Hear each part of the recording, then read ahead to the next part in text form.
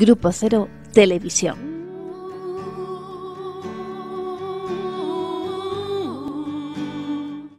Quiero decir que es, es difícil presentarla porque Clemons es una persona que lleva un montón de años en Grupo Cero, con sus altibajos, tipo Guadiana y demás.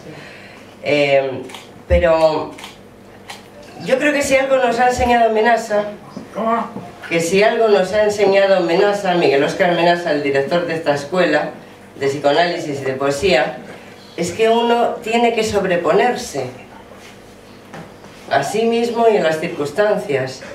Entonces, Clemons es un claro ejemplo de sobreponerse a su nacionalidad, a su idioma, a sus contingencias personales, ¿no?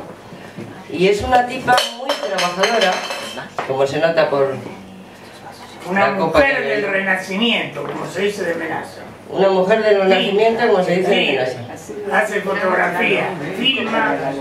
Bueno, hace un montón de cosas, hace un montón de cosas, pero en este momento lo que nos interesa es cómo ella escribe y ha sabido sobreponerse a sus múltiples capas en cuanto a escritora.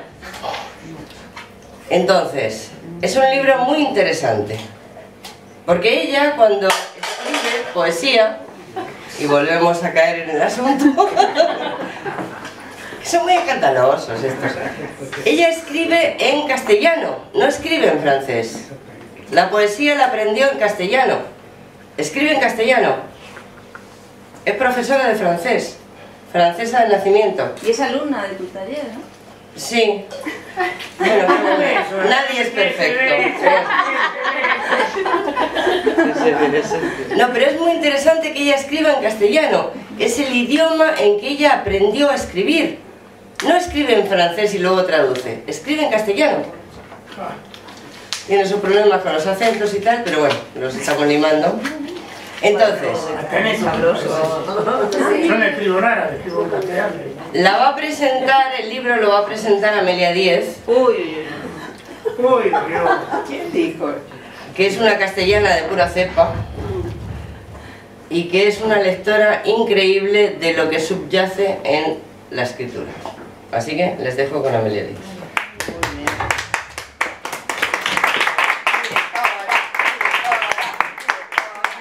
Intervención a favor de la escritora, que tiene derecho a, a responder. ¿eh? Cuidado con las presentaciones que ahora tienen derecho a responder. ¿Qué? enanos, escuchad. Al micro. Al micro. Eso.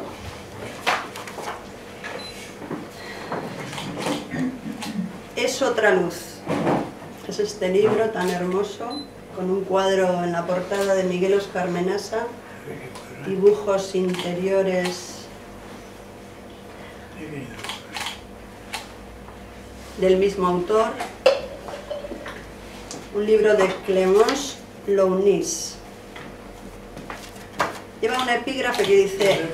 Leer. Ah, lleva un epígrafe que dice. Me voy a tener que poner el No, no, vamos a subir el volumen Eh. para que no tengas que acercarte.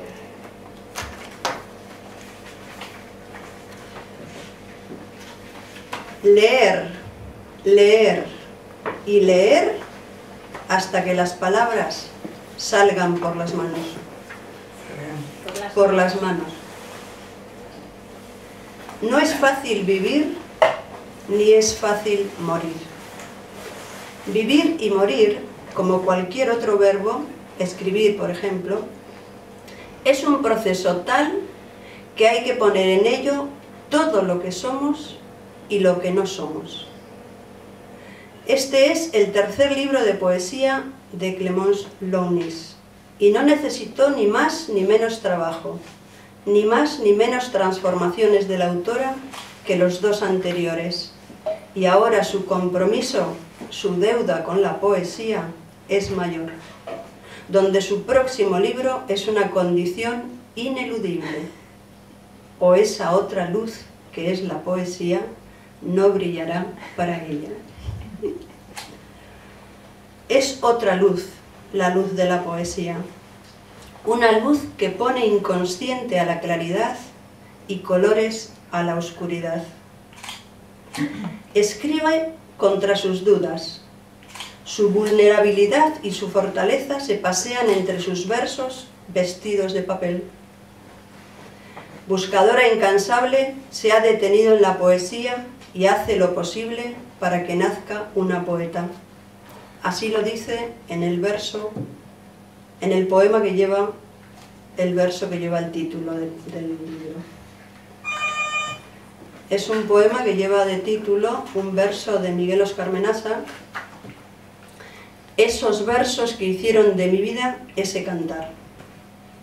Me han hablado de aquel ronroneo, de una luz suturada que debía existir, que existiría si lo quisiera. Aleteando los pasos, cada caminata tenía la perplejidad de fundar un aire nuevo, un beso prolongado, la palabra hermética y la palabra gozadora. Los pasos tenían dirección, aunque no veía nada. Cuando cantaste, entré en el verso y ya me instalé. No por confortable, ni por su agilidad desmedida, ni porque añada sangre al corazón. No son sus temblores de capicúa en ebullición que me llevan de la mano, no es otra luz, una luz de tierra que ata pieles, que dan manos a las manos. Es otra luz. Muy bien. En el primer poema del libro nos dicen, nací desde tus ojos. Los ojos de la poesía que define como profundo abismo, tierra de príncipes en el éxtasis, donde el futuro era luz temblor, carne para el miedo. En el segundo poema nos habla de la primera vez, la primera separación, el primer nacimiento a la vida por cuenta propia, que se repetirá de manera incesante a lo largo de una historia de vida y que no ha perturbado su primera decisión.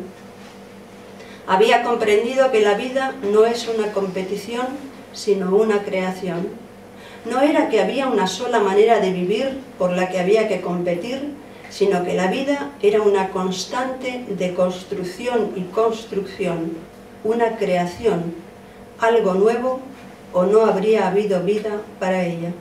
Y nos dice, hubo, ciclos de arrepentimientos, hubo ciclos de arrepentimientos, fábulas descartables que no servían para caminar la primera vez fue diferente, hubo en la piel un lugar. Un libro histórico como todo libro vehiculizado por la letra, algo autobiográfico, pero donde entran en juego los significantes donde todos habitamos, ya sea de acuerdo o en desacuerdo, con placer o displacer. Todos tenemos un destino, no importan sus dimensiones ni sus hechos, solo necesita para dejar rastro la escritura como base material. Clémence Launis, nacida en Francia hace medio siglo, desde muy joven se entregó al arte. Primero a la música y las canciones de otros. Actualmente compone y canta los poemas de Miguel Oscar Menasa. Ha trabajado la escultura, la pintura y la fotografía, llegando a realizar exposiciones de performance en algunas de las más prestigiosas galerías de arte de Madrid. Desde, 2001 filma y participa en cientos de videoartes y documentales sobre la vida y obra del creador Miguel Oscar Menasa, entre los que destaca el primero en 2002, La inundación, y uno de los últimos, en 2018, una entrevista en Málaga de este autor. Desde 2003 ha sumado la escritura y el cine a su pluralidad artística, participando en la filmación y el montaje de varios largometrajes y cortometrajes, y también como actriz, además de codirigir con Elena Trujillo Grupo Cero Televisión. Su formación psicoanalítica se muestra en todas sus facetas, ya sea en su arte, ya sea en sus diversas profesiones, psicoanalista, profesora de idiomas, traductora, etc. Publica desde 2010 y además de sus tres libros de poesía, ha participado en un libro sobre la mujer del siglo XXI. También ha publicado su primer disco, El amor existe y la libertad, y su segundo disco está listo para su edición. Ha participado en más de 30 conciertos. El pensamiento psicoanalítico y una manera especial de concebir la poesía como hecha con palabras más que con ideas habitan y laten en sus poemas. En este libro podemos destacar sus metáforas para hablar del silencio. Amores contaminados por el precipicio apretado de la boca, donde calla el odio y desaparece el amor. Tres puntos en la inmensidad callada. ¿Qué grito se palpa cuando lo que duele son mis labios? Seré tres o cuatro, seré tres o cuatro leyendas cuando, cuando se hayan depuesto los sonidos del amor. Nací desde tus ojos, la dureza del mundo y mis trampas preferidas, tres nombres para tres apartados que sugieren que en este libro poetiza la historia de un o una valiente caminante que se juega en la poesía y habita un mundo que se va produciendo y donde sus trampas preferidas son las formas de atravesar o rodear los obstáculos imprescindibles que nosotros mismos nos ponemos, nuestros propios engaños. Y lo dice así. Frenesí multicolor que come hasta siete vocablos, un cuerpo a cuerpo con el verbo, deshaciendo al embustero. Y se despide con un verso que nos anuncia el próximo libro. Volveré para poner sobre tu nombre la flecha de una lucidez. Tiene más de 50 años entonces. ¿Por qué? ¿Sí? ¿Por qué? Ah, ¿me preguntas a mí? Por, la, ¿Por qué? por el modo de escribir. Por, Es ¿Ah, que el poeta parece? no tiene edad, tiene todas las edades. solo 50 años. Bueno, un poco más. Parece, parece más grande ahí en ¿Es esta la historia de la autora? ¿Es la historia de alguien que existe en algún lugar del mundo? ¿O es la historia de alguien que tiene una existencia poética? La poesía abre puertas a nuevas realidades que no es necesario que existan o lleguen a existir porque ya tienen su propia existencia. Son realidades que abrirán puertas y cerrarán imposibilidades para el ser que habla. Esta vez se trata de una autora bilingüe. Su vida de poeta se extiende a lo largo de dos lenguas y sus escritores, participando en mantener la historia viva de esas dos lenguas y sus escritores, como nos dice T.S. Eliot. Los poetas muertos dejan de servir a menos que también haya poetas vivos. Bien, bien. La función social de la poesía afecta al lenguaje y a los que los, lo habitan.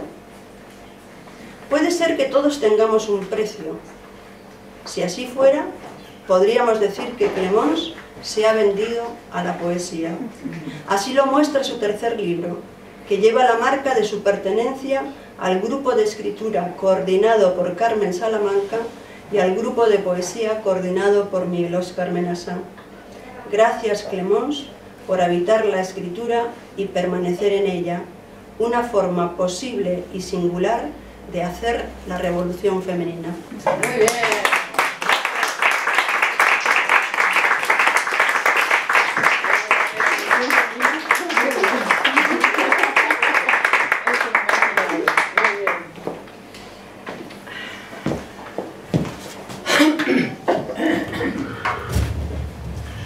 Muy buenas tardes, noches. Bienvenidos aquí esta tarde. Muchas gracias Amelia. Me ha presentado fenomenal. Muy bien, muchas gracias. Bueno, ha hablado del cuarto libro, por ahora nos vamos a quedar con este, pero que evidentemente hay que seguir y que sigo escribiendo. Que, que como lo han ido diciendo, este libro es, el, es un conjunto, yo pongo mi nombre, pero es el trabajo de un montón de poetas anteriores, de, de mis lecturas, de la coordinación del taller de Carmen Salamanca, estoy en un taller también de poesía de Norma Menaza, bienvenida Gracia, con Miguel Oscar Menaza, es decir, que tengo un sostén eh, muy fuerte para estar escribiendo esto. pues espero que esté a la altura. Bueno, voy a leer unos poemas. Voy a empezar con el primero que se llama, que se titula Nací desde tus ojos. Nací desde tus ojos, profundo abismo, tierra de príncipes en el éxtasis, donde el futuro era luz, temblor, carne para el miedo.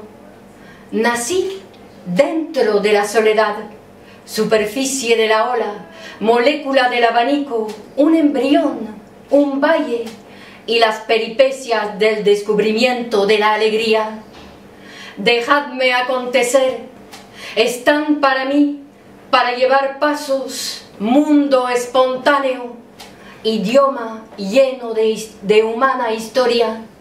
De vosotros aprendí que la tierra trabaja sus sentidos vegetales.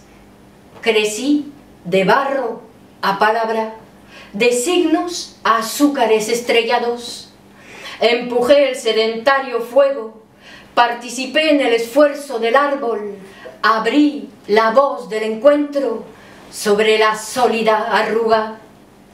Tiempo de escarcha, de óvulos esparcidos, penetré con vigor en los relámpagos, asalté estremecida el desierto de tus ojos.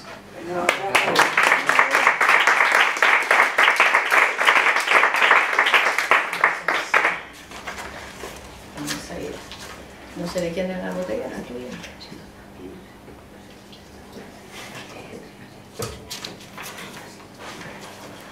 Mis ojos de plaza pública. Es un verso de Vicente Alexandre. Hay amores de plaza pública que contagian los ojos desde la ventana. Amores coléricamente contaminados por el precipicio apretado de la boca no saben mezclar su amor con el odio, se hacen finitos y retumban sin gloria.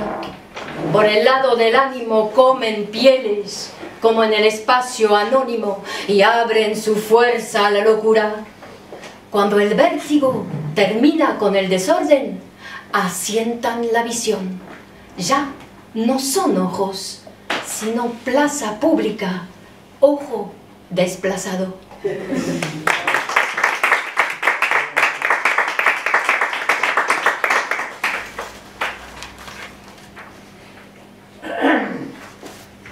La vida desciende.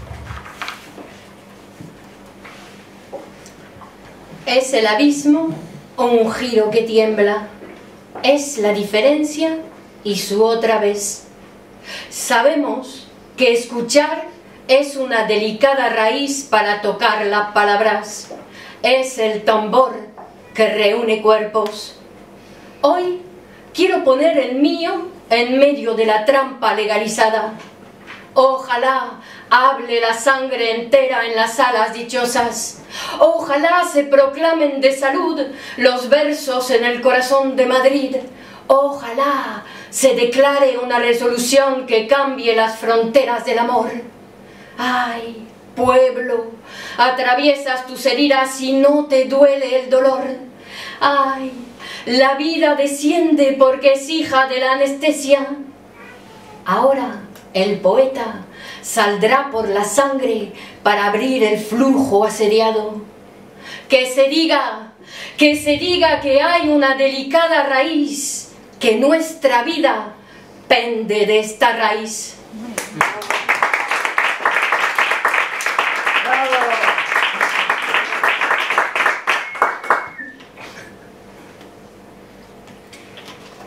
Bueno, voy a volver a leer el poema que leyó Amelia ahí en la presentación, pues es significante dentro del libro. española, no parece francesa.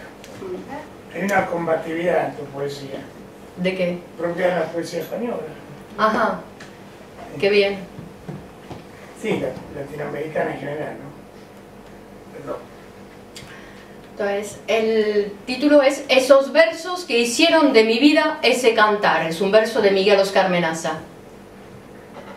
Me han hablado de aquel ronroneo, de una luz suturada que debía existir, que existiría si lo quisiera. Aleteando los pasos, cada caminata tenía la perplejidad de fondar un aire nuevo, un beso prolongado, la palabra hermética y la palabra gozadora. Los pasos tenían dirección, aunque no veía nada. Cuando cantaste, entré en el verso y ya me instalé, no por confortable ni por su agilidad desmedida, ni porque añada sangre al corazón. No son sus temblores de capicua en ebullición que me llevan de la mano. No, es otra luz, una luz de tierra que ata pieles, que da manos a las manos. Es otra luz.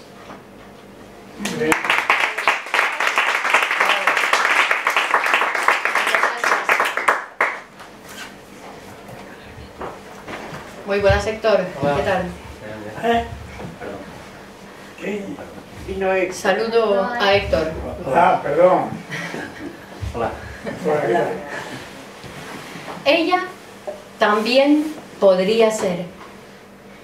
Ella también podría ser cuchillo y esbelta, de envergadura extrema para tocar mi piel y ser de ella esclava temblorosa, pacífica en su mar, un recuerdo para el amor, como el cuello cuando detiene su grito de vida, como si el sueño fuese a promulgar una variedad en su paso. Tanto ha llovido, tantas máscaras ha bebido que busca su pan donde nacen las estrellas. Recuerda palabras, pero no, están aquí, gastando su tiempo en un sonido de heliotropo. Carcajada sarcástica, se separa del fácil aletargado corazón y extiende palabras.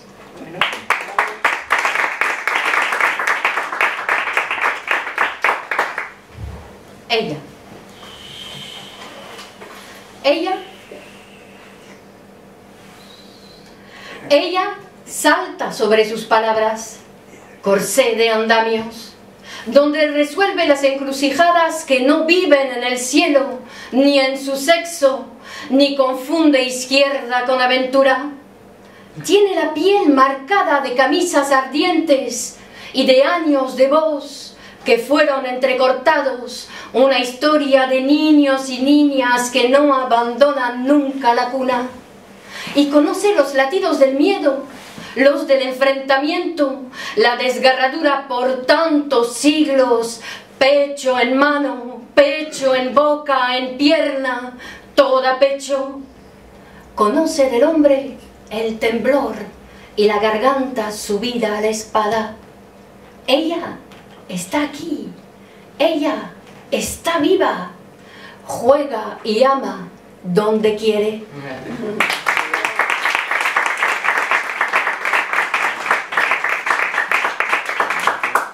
Bueno, vamos a seguir con ella. Vamos a seguir con ella. Es un título del taller de Menaza que dice, ella conoce todos los oficios. Uy, uy, uy. Su profesión es clave. Drama y corazón bajo su oficio. Habla de muertes como si de libros se tratase y corre profunda del valle a la piel, compañeros, glándulas coloreadas en la inocencia. Pájaro de superficie, como cuando la soledad es una voz esperando un embrión. Historiadora en las tareas del mundo, cuando su oficio es río feroz, haciendo espontáneos. Bulle la placenta, verdea y nace sólida, convierte lo que del principio se fue en una inicial libre de nombre. Ella conoce todos los oficios, polen ruidoso de la bravura que abarca la alegría y la letra final.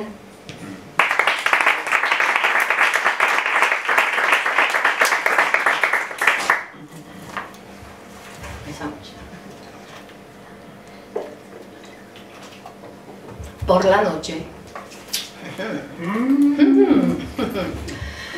Cuando la bruma de invierno calca los cálculos de Año Nuevo, triste de brazos de rocío, imberbe de atardecer, la noche amontona mareas, la noche amontona mares de enamorados que no se llevan lo ocurrido ni la esperanza de la hierba fresca.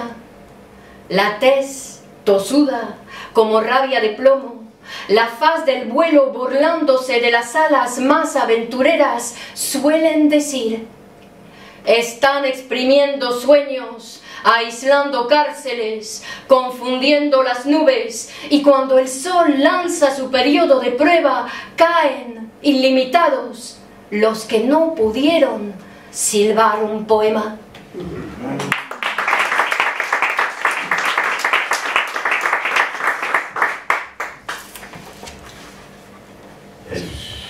Hace calor, ¿eh? ¿Cómo, cómo, cómo? Que necesitamos tiempo. Ya está.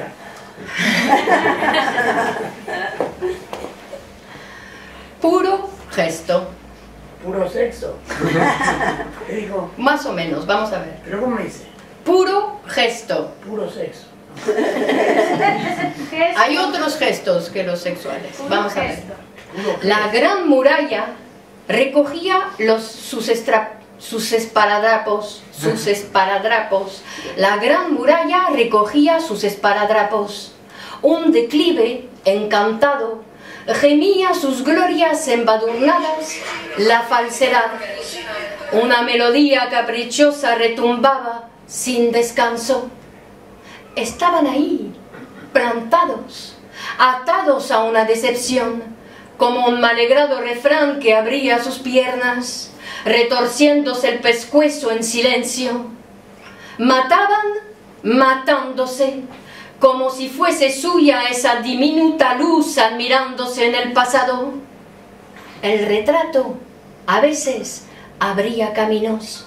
Un oxígeno imberbe y lúcido, flameando palabras secretas, acercaba las bocas.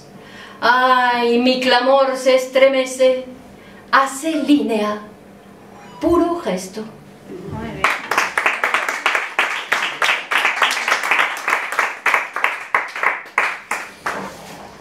Es una. Es un déficit que tengo, ¿no? Cada vez Entonces, yo siento sexo. Ok, bueno, eso eh, es, un, es un poema erótico según Menaza. Ahuyentando el miedo. Con el sexo, dices, por ejemplo. Hay dudas envueltas rodando en mí. Las manos han percibido su esplendor. Corre por las latitudes el feroz galope de quien quiere llegar y no continuar. El ambiente sufre las reglas de la patria. Hay hombres sin y no hay mujeres. Los estandartes despliegan decisiones donde van muriendo las palabras. Hay que hacer algo. Pintar los cuadros de inicios. Taconear en los periódicos ahí donde acecha la confusión.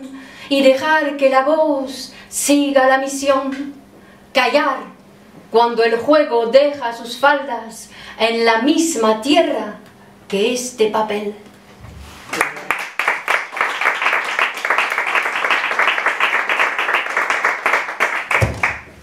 No, no era tan sexual. La ciudad navega sin lecho de bandera. Eh. La ciudad corre haciendo frente a los montes, tierras tocadas por los cielos, aromas de contrastes del color del perdón, de la mezcla que recubre las fantasías del olvido. La ciudad navega sin lecho de bandera. Los tripulantes están al servicio de su propiedad, del aire y de la piedra, no llegan al río. Pueden caerse, temblar porque fueron adiestrados como hojas conocidas por los ruidos. Y navegan sin lecho de bandera, trazan horizontes para cada uno.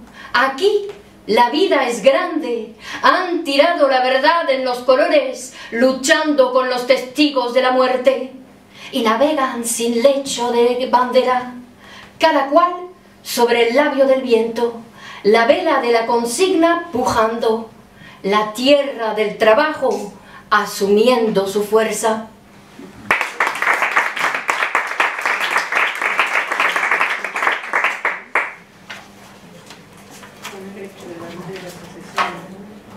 ¿Cómo?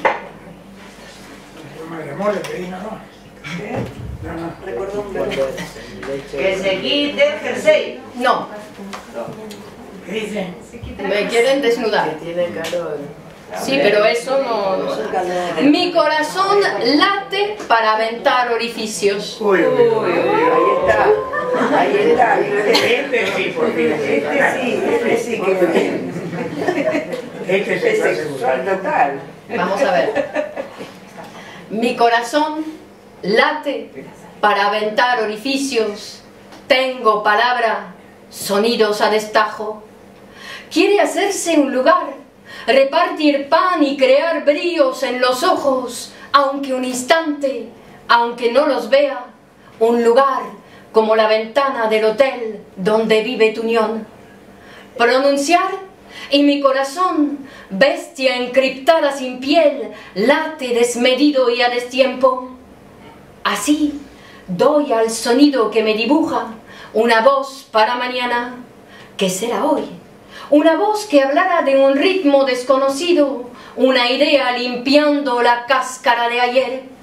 Y tengo miedo sin causa ni fin, un miedo de limusina abierta, un ojo sin prisión, una tregua frente a la infamia que me habita.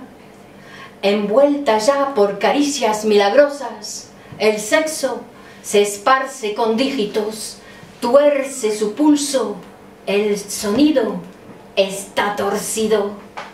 Y si no veo donde navego porque el agua espuma no refleja, será porque estoy flotando, porque el aire hizo de mí una parada significante.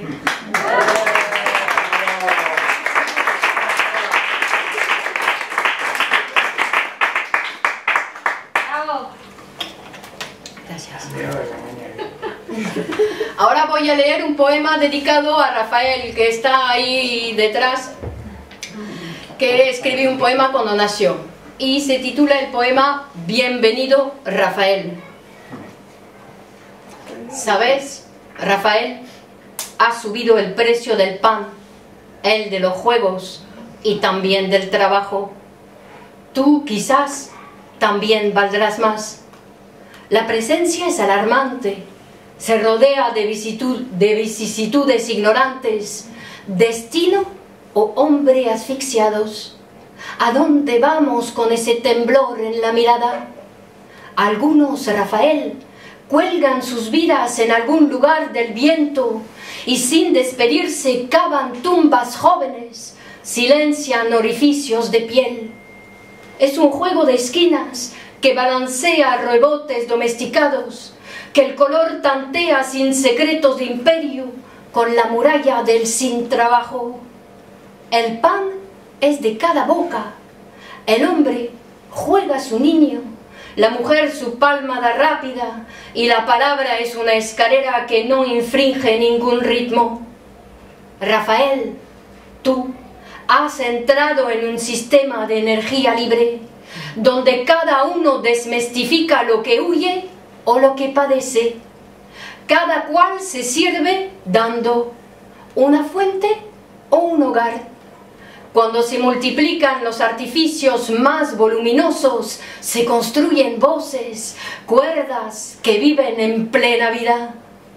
te dan teclados, ya verás, Rafael, la mano no tiene cinco dedos, nace sobre páginas.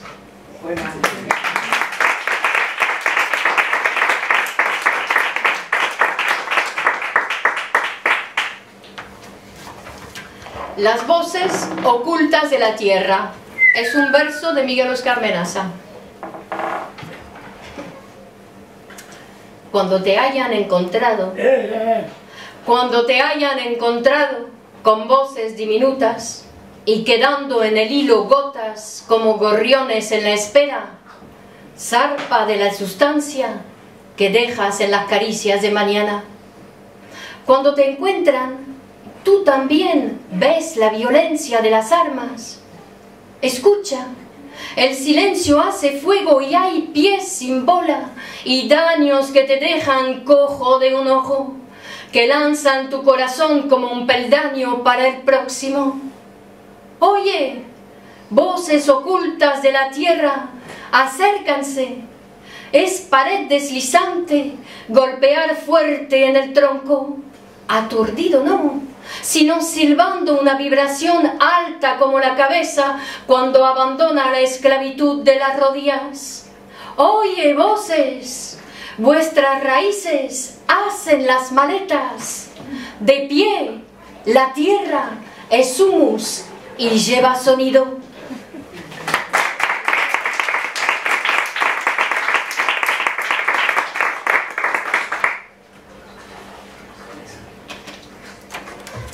Se vende.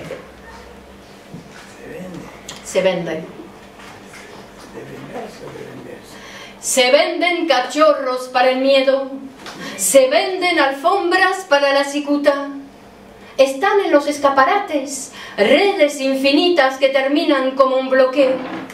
Han empujado la mercancía del pozo más que la piel de los bosques. Son herrumbres tóxicas que devoran los inicios. Se venden chasquidos matinales cuando se soportan las melodías. Pero ¿dónde están las linternas de la... Pero ¿dónde están las linternas del afán? Seguro que compraron con trabajo el manantial que jugaba la final y se apoderaba del invento. Se compran y se venden las almas baratas y es ese desdichado el que me hace frente con sus trucos de pan artificial.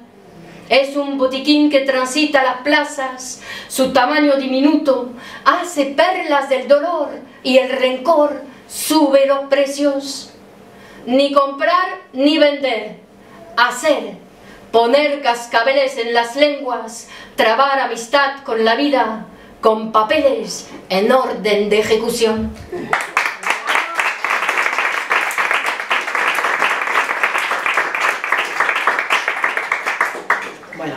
queda poco. Otro poema que se titula Aguarda. Aguarda. Espera.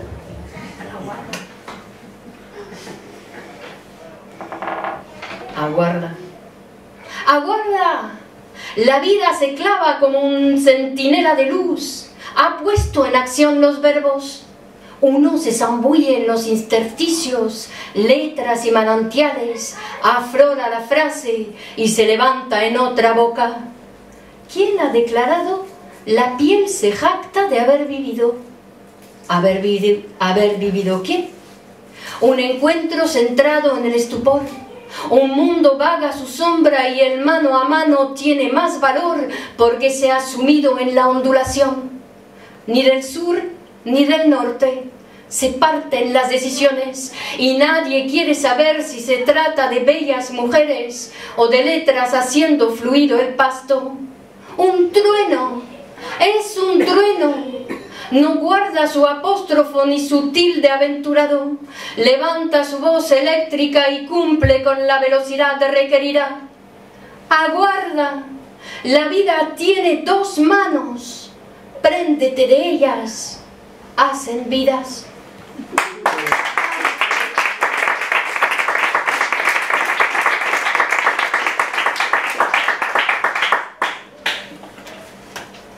Antes del final.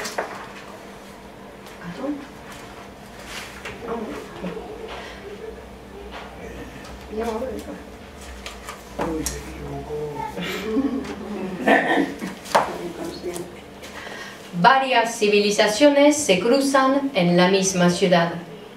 Eso es un título del taller de amenaza. Varias civilizaciones se cruzan en la misma ciudad. Está mi padre, ancestro de los ancestros, desborda de refranes, de capitulaciones a destiempo. Todavía huele a palabras que hicieron destino. Mi padre tuvo que andar de rodillas para secar falsas heridas y nunca pudo alzar la voz. Rastreó su sombra porque no venía nada en ella. También mi padre, de otro tiempo, creaba cavilaciones, huecos abundantes donde se refugiaban las notas y crecían los pechos y llamaba con el corazón de la lucha toda espada, sangres que hicieron destinos. Otro padre gritaba al futuro, el vacío no habla más, es un cartucho, un incendio para nuestra voz. No se puede saber de los destinos de su canto. Mi madre, ese río infernal, esa loca pasión de vida, con dientes arrimándose a sus palabras, sigue latiendo como una eternidad. Como voz necesaria para irrumpir en su letargo, mi madre nunca despertó, quedó acunada por movimientos sin ritmo. Mis hermanos, ay, mis hermanos, hablo de la fraternidad con boca franca, para que quepen innumerables nombres, para que quepan innumerables nombres, fuerzas y lanzaderas, cañones y trueques inestables. Hermanos, tenemos los verbos para nosotros.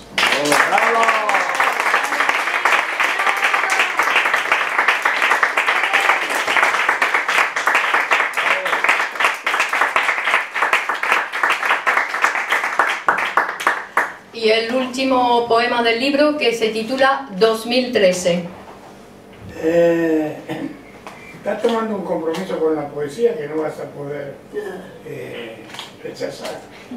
Qué bueno, Eh, comprometida. ¿Ves? si dejas de escribir poesía te va a pasar algo grave. Ok. Porque estás adquiriendo un compromiso con ella.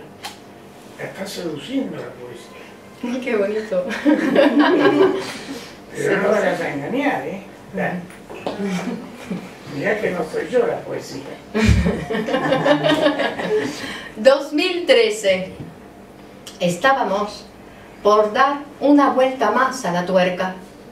Todavía la esperanza jugaba con los niños. Había mar y claveles camuflados en los ojos. En los libros, la punta del mañana temblaba sobre las bombas. Cantábamos cuando al amor se le ocurre inaugurarse, porque la sangre atraviesa las paredes. Humano mundo, ¿qué clase de humano humedece el presente? Resbala la tenacidad y sus afrodisíacas ubres, resbala el- la hembra, el calor absoluto. Hay huecos sin destino, amor de mañana, amor. Tu similitud abre fustes doblegadas, los poros congelan la arquitectura de las letras y se siente al humano bajar de un salto. ¿Qué grito se palpa? ¿Qué grito se palpa cuando lo que duele son mis labios? La pólvora sueña ser desconocida y entre las hierbas propone la exhalación de una tregua. El pan pide un lugar, una lengua para afilar el aire donde vuelo. Volveré para poner sobre tu nombre la flecha de una lucidez.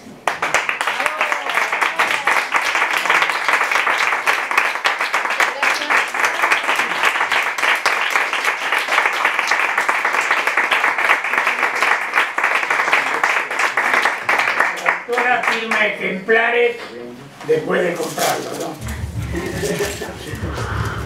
Muy bien, sí, que si quieren que firme algún libro, eh, estoy aquí, voy a buscar un boli.